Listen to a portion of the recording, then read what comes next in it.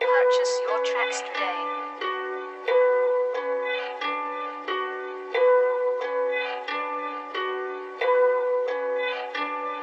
Uh, this just the way it is, and this just the way it goes.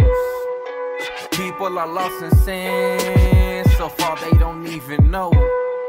Society feeding false hope to the world, and they hoping they don't get exposed. But all truth come to light. Luke 8:17 is the verse that says it all. It's a world filled with darkness, pain, crime, jealousy, hate, lies, and homicides. But Jesus said we need to be the light of the world so they can see even if they blind. If practice makes perfect, then I walk with Christ should always be exercised. We need to be ready for his return. He coming soon and it's been getting prophesied. A sad truth that you can't deny is that everybody limit their time to go and praise God. On a Sunday, so they only praise a certain time. And many people really don't put in overtime. So they leave their praise at the church where it doesn't work. Cause that's only spot that you'll put in work. And it hurts God to see that you don't know your worth. But upholding his truth that he had put on earth. Dang. Faith without works is dead, so take some action when you pray. Holy is the Lamb and the reason to why we're saved. We speaking truth and we giving fruit to anyone who hasn't had a taste. I'm not perfect, but I gotta say, we need to evaluate our way of life and our way of bang. It's not straight and it's not okay to live our lives getting handled by the devil's games. And evil artists paint a picture, make you contemplate thinking drugs, sex, fame, money is all that you really need. Things that shine ain't always gold. Not all is true, so many lies have been told. But if you heard of the word of God, you were chose. Now you live in the presence of the Holy Ghost.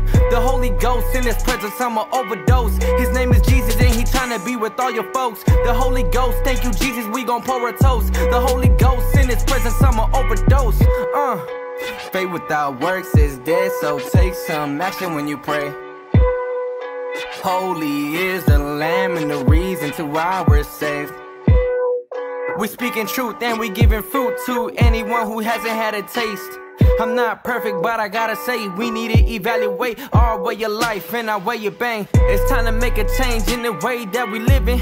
Cause we go to church, we say that we some Christians. We putting up a title, but we don't uphold his image. This is not a lie, this is real life business.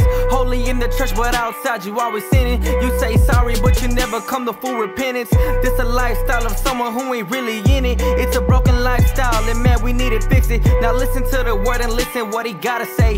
You can cause it gives you strength. You're trying to change, well, you gotta go evaluate. It's time to grow, it'd be a shame if you stay the same. But everybody wanna sit down and just kinda wait, hoping that they see change, cause they have a little faith. Jesus is the guy, but you gotta meet him halfway. Blessings won't come if all you do is sit and pray.